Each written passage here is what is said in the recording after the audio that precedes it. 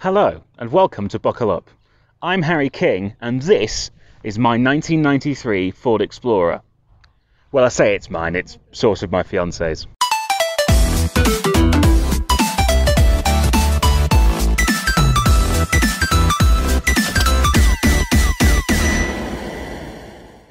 So as usual, we're going to start this review by talking about the exterior of the car, but unusually, I'm going to talk about general themes of the exteriors of first gen Ford Explorers, and I'm going to talk specifically about the car in front of you because uh, this one's a wee bit different. Um, so, the front end of the Ford Explorer first generation was just a Ford Ranger. Um, and then moving back to turn it into an SUV, they just put a box on it basically. So, not a huge amount of body styling going on there. There's this line that goes down the side of the body. And I believe you could get it in two tone above and below that. And um, around the grill area, there's some chrome because it's American. But otherwise, not a huge amount stylingly to go off. It's just kind of a box or two boxes, I guess. Now, this car specifically, you'll see on the front, it has these extra off road lights fitted. They're very useful because the headlights are almost completely useless. I'll insert a shot of them in the dark for you now. Um, also, it has this black bonnet. That's not because the bonnet's been replaced. This is the original bonnet. Um, it's just been painted black so it doesn't reflect into your eyes in the sun, like on a rally car. Except this is, it's definitely not a rally car. Um, also, I don't know if you can see from there. This car does have a sunroof. It's been sealed with bathroom sealant um, because it leaks quite badly. And then it also has a sort of homemade roof rack made out of steel box section, um, which I suspect is. Well, I'll show you some of the problems that's caused. Um, you can see already on the front, this is quite a lot of Bondo here. It's clearly been bashed and dinged about. I think before I owned this vehicle, it was being used effectively as a pickup truck with the seats folded down. Um, so it's been fairly abused. There's also quite a lot of um, sun scorching of the clear coat, so it's not really shiny anymore. It doesn't bother me though. I quite like the way it looks, sort of bashed up. It's like a road worn Stratocaster for people who like guitar. And then to round out the exterior, here we are at the back. Um, as you can see, there's some brown inserts here. That's a bit more Ford styling. Um, I'm not sure why though, because there's not any more like dark brown on the rest of this exterior. I mean, I guess it's it's all kind of brown, but that's the only dark brown. Now, this is where I'm going to be able to best display the problems that I think have been caused by this aftermarket roof rack is at some point it's been overloaded, it's pushed the roof down here, and now I can like fit my hand into the top of the tailgate. Um, so it, the tailgate doesn't really fit anymore. Um, and that's a problem that's only compounded because then when you open it, well, one, this is a 30 year old truck, so the rear struts don't really work. They um they just kind of let it fall, and uh, I don't know if you can tell, but it it leaks because of the gap above above the door, and then also um, the catches at the side don't actually align quite right anymore. So what I have to do when I want to close it is um, push this in here like that and then give it a really good old slam. Okay, so here is the boot. Here's how I access it most of the time because of the damaged struts and the whole problem opening and closing it thing. It is properly massive, and I would usually demonstrate this by climbing inside and sitting in it um, where I would have pointed out that it would be the ideal camera vehicle if we could get one in England because you can prop this open, sit the camera out the back, and you're sorted.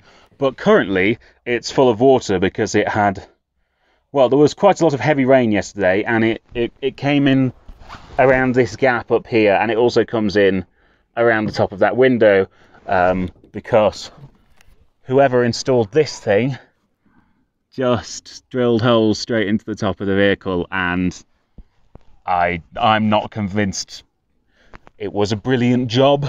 So let's talk about something that's relevant to everyone. How much space there is inside.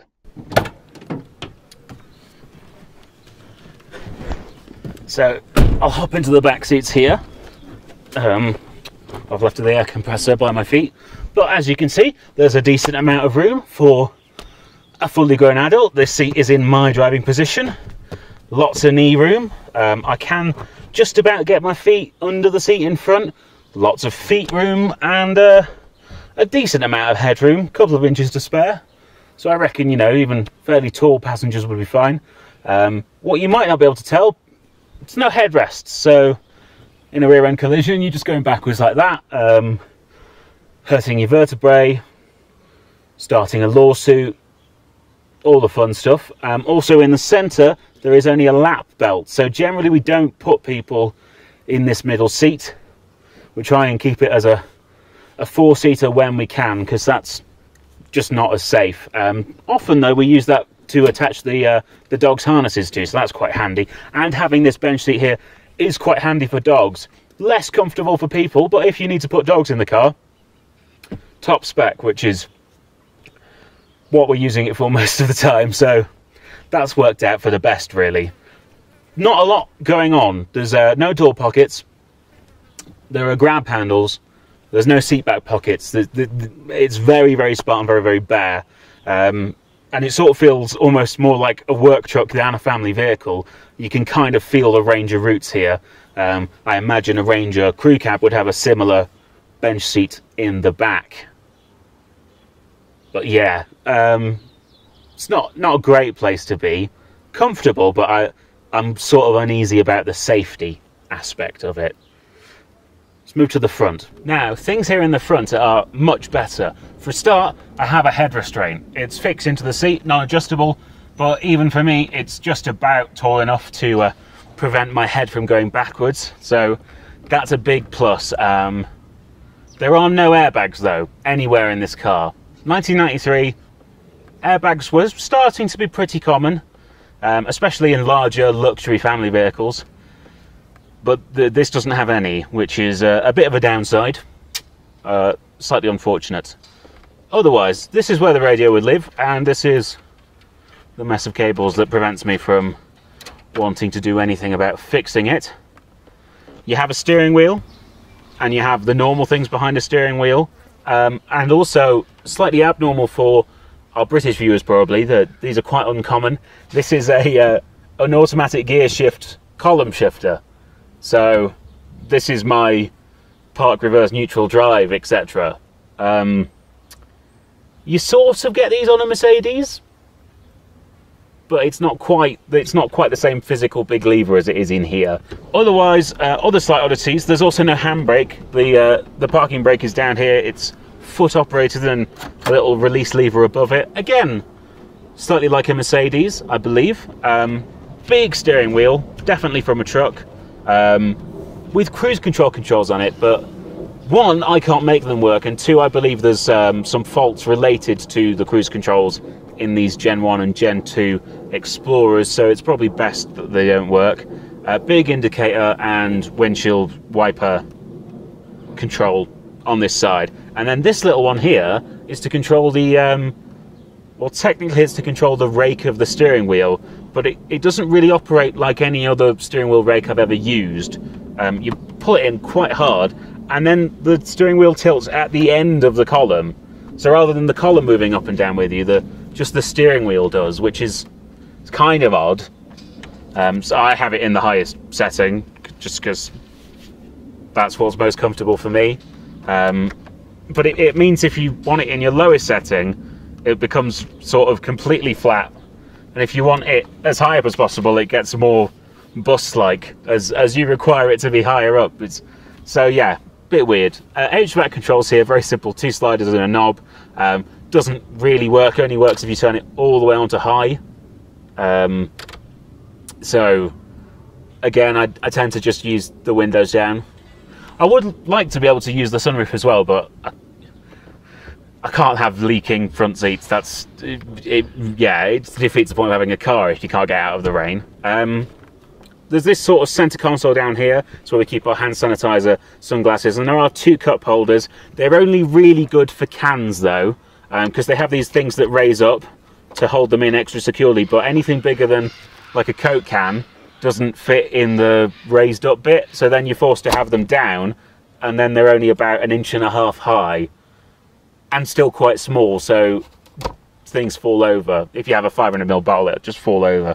Um, I have all of the various electric controls for the windows and things here, um, as well as a door lock and um, what claims to be electric mirror controls, but the mirrors aren't electric.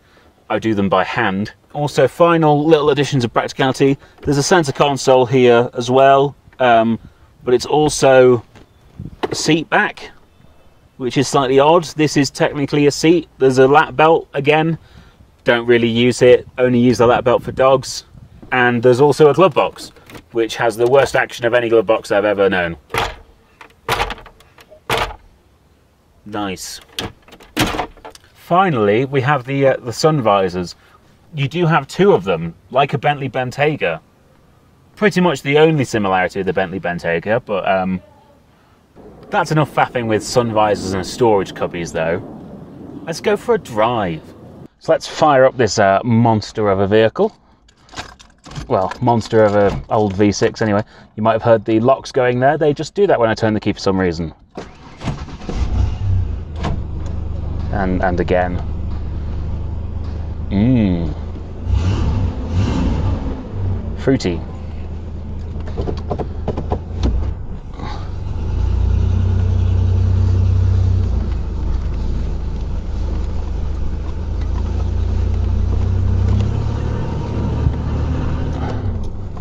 Uh, where shall we go? Let's let's go and see how it does off the beaten path first. I'll take you to some of the uh, the rougher roads in the local area in terms of surface rather than you know social standing. Um, well, you might already be able to see these aren't exactly the smoothest roads you might find. They're certainly um, they would give Manchester a run for its money, but it does get worse than this. It, it does. It, it also gets a lot better in some places, but you may have noticed, by the way, I am wearing a different t-shirt. Uh, that's because I filmed the other part of this review yesterday, um, and then it started raining. And as you may have noticed, I also have the windows open because of the aircon issue. So um, trying to film in the rain wouldn't really have been great because half of me would have got soaked, and it would have been even noisier than it is now. So I elected to shoot later on, and, um, and then that evening I spilled ketchup on my t-shirt. So that's the continuity error for you there.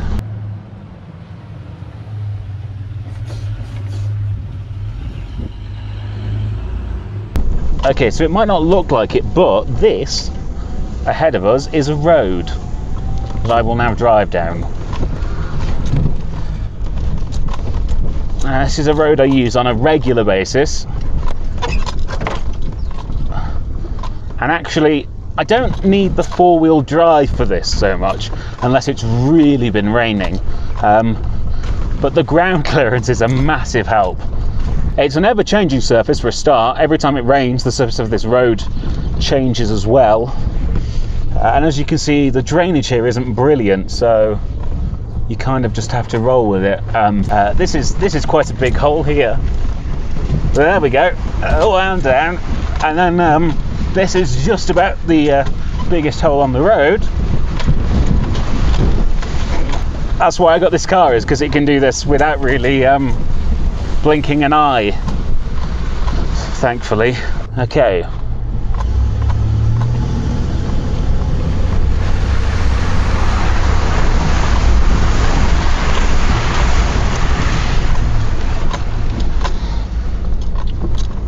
bit of a water obstacle there. Got through that no bother. Smells a little bit of excrement, but that's fine.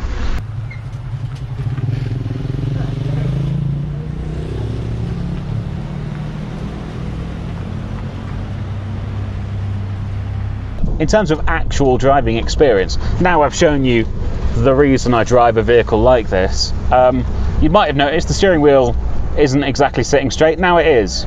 Now it isn't. Now it is. I haven't moved at all in terms of what direction my wheels are pointing. Uh, so yeah, quite a lot of play in the steering. It's a recirculating ball system, uh, like you would find on an old G Wagon or a current Suzuki Jimny, so quite old fashioned. Um, I believe it's supposed to be better for off roading because it's less likely to kick back to, back at you, but um, as a payment for that, it's also completely numb to any sort of feeling, and it's a huge amount of turns lock to lock. It's more than four turns lock to lock in this car. Um, so when you're going around a tight corner, you really have to move the wheel a very long way. The steering wheel itself, as well as having no feel, it's massive. Again, definitely from a truck. This one has um, a nice cover on it. Well, I say nice cover. It's relatively nice actually. It's uh, vinyl, I believe, rather than leather. But it's cream. Importantly, the actual steering wheel is black, and in a hot day, or on a hot day even, when the sun's been beating down on the interior of the car, I'm very thankful that this is a light coloured cover because if it wasn't, I mean, oh, I would burn my hands a lot. The seats definitely feel trucky in their nature.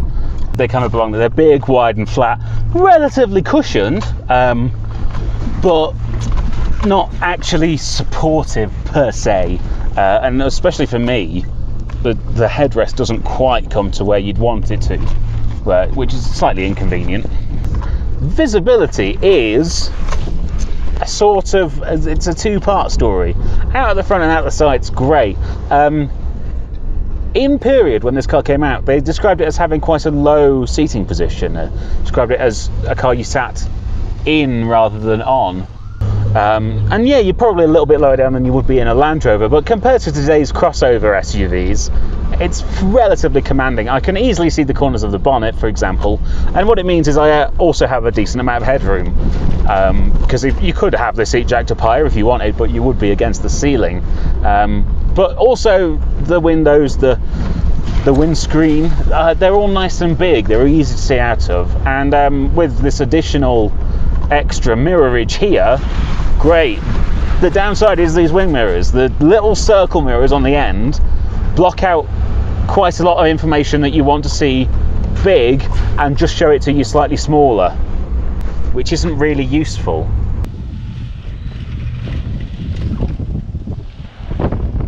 Brake and throttle feel. The brake pedal is quite grabby. Um, this vehicle has discs in the front and drums in the rear, as is the 90s style. So um, I think what's happened is maybe the rear drums haven't been serviced. I don't have a space to work on this car really anywhere. Um, and what happens is the back wheels like to lock up really, really quickly. So something is wrong somewhere, which is true of a lot of this car actually. Um, but something wrong is wrong somewhere. So the back wheels do like to lock up. Luckily, they only like to lock up when I'm already going below 15 miles an hour, let's say. So if I have to brake hard on the highway or something, generally it slows down progressively, and then for the last little bit, it, it skids, which you know makes it nice and butt clenching just at the end there, but it's mostly fine. And the throttle pedal is remarkably unresponsive. I guess that's partly due to what is a fairly lazy torque converter gearbox. I'll happily let you labour or lather power into the um, into the torque converter itself and then just spin it away without achieving anything.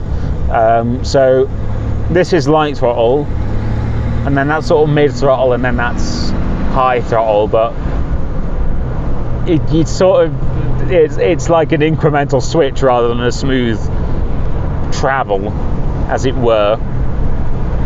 And there's no clutch pedal to speak of, so I don't have to talk about that. Um, I don't know what a clutch pedal would be like in one of these. Probably also weird, just like the other two pedals.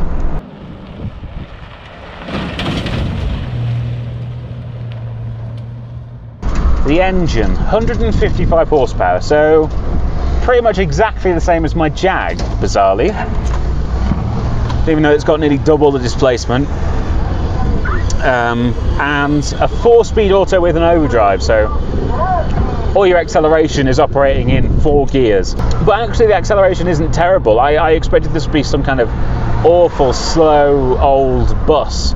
Uh, and it's somewhere in the 10 second range to 60, which you know is not fast in by any means. But a Defender is the far side of 15 seconds even for like a 2016 Defender. I'm talking about the old Defender here, obviously. You know, and and the Mitsubishi Shogun Sport again, north, north of 15 seconds. And these are vehicles that are similar. They're, they're you know body on frame SUVs. In the Shogun Sports case, it's actually based on a pickup truck, just like this is. Uh, and both of them, well, the Defender's older and newer, bizarrely. Um, but yeah, they're both contemporary and or sold newer than this. So actually, this is fine. It's faster than my Ford Focus was, which is just that's kind of silly. But um, it, it means it's it's quite livable even in modern traffic, it you don't feel like you're being completely shafted. Now, if you wanted to overtake someone on a single lane road, it's still not it's not brilliant. Um, I'd far rather have the Jag for that. And my God, on a curvy road, it is quite a handful.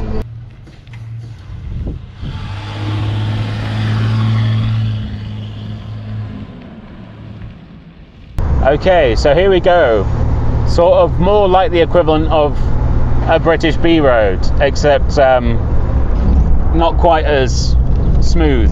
So as you can probably see, it's a, a tad bumpy. Um, and then you get people like this who are just hanging about. So you, um, you, you go for those overtakes when you can get them. Oh God, oh God, I've lost you. I'm gonna have to fix you. Especially the rear end when it's empty. It's very, very bouncy because you've got to remember this is effectively a pickup truck. So in the back are leaf springs, and leaf springs operate best when they're under high amounts of compression. So yeah, on on road suspension, not not as good as it could be.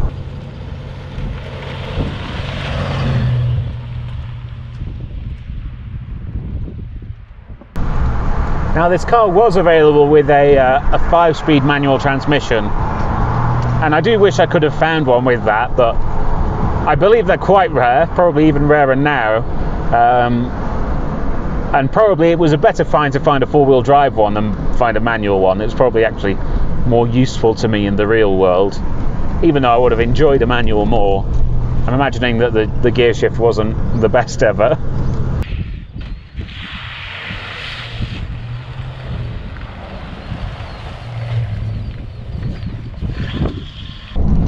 Now, I probably should address the title of this video, the whole Ford Exploder thing. Um, accident waiting to happen. Well, is it? So, I've scoured the online forums and I've tried to work out what specifically the name Ford Exploder comes from, and people have different answers, which is always helpful. But I'll try and cover the main ones I've seen. So, there are three claims as to the Ford Exploder name. Number one, engines for timing chains or timing belts. Uh, and it's an interference engine and it goes wrong. On this car, that's blatantly not true. 290,000 miles, original engine. It's just been it's been serviced regularly and properly, and that has kept it in tip-top shape.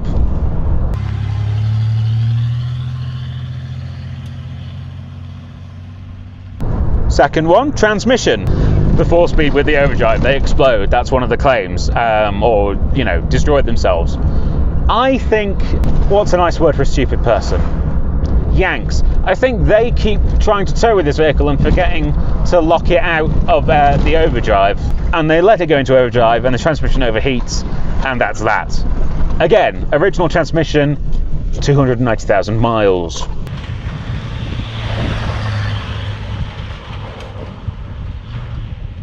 And then probably the most notorious one is more specific to the Gen 2 Explorers, but it's uh, that they have high speed blowouts.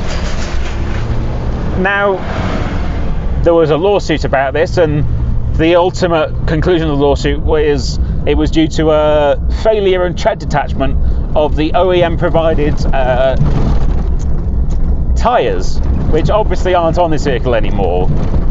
So in terms of an accident waiting to happen, not really worried about this car. Um, if you still have your original tyres on your Ford Explorer, what the hell are you doing? At this point, any tyre will be bad. Uh, you know, once it's been 30 years, so sort that out. But I think if you buy one of these these days, probably it's going to be okay. You know, it's hard to say that definitively. Obviously, cars can go wrong, but I think if something goes wrong at this point, it's due to age or use rather than being an intrinsic manufacturer flaw, uh, which this got saddled with quite badly, and I haven't noticed the same level of criticism leveled towards, say, the Chevy um, Blazer or the Dodge Durango or other cars of this ilk. And I suspect that's partially due to the fact that this sold in such huge numbers that, of course, there were going to be issues. Every car has issues. Every car ever has had issues. Toyota Camrys can have issues. I know it's scary to hear it, but I'm telling you the truth. And it's because I love you. So I think just because there's such a huge number of these, things came up. And the tyre thing was bad luck, but ultimately it wasn't Ford's fault ish. So Ford Exploder, it's kind of a funny name, but I think ultimately it's only as true as any of these rumours about horrific failure on a vehicle. You know, at this point, you're buying a nearly 30 year old vehicle. The ones that are going to die have died. They're gone. You're safe. You just have to worry about all the other things you worry about with old vehicles, which is anything breaking.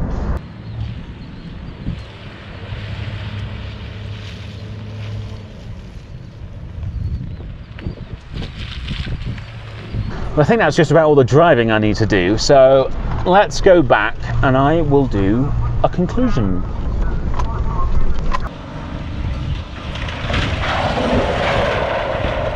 So, what are my final thoughts on the Ford Explorer?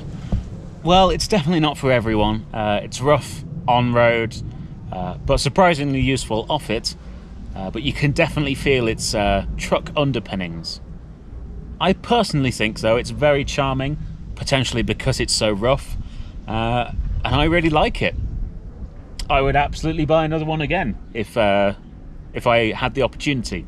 Thank you for watching, guys. Please remember to like, comment down below, and most importantly, subscribe. You'll find all of our social media links in the description Facebook, Twitter, Instagram, all of those. And we have a Patreon if you would like to support us and um, and make us do more cool stuff, let us do more cool stuff even, then you can support us there. Or if you want to support us in another way, we have merchandise. We have a merchandise store. The link for that is also in the description. You go buy absolutely lovely merch. Um, I own a bunch of it because I like it so much. Um, and yeah, thank you. See you next time.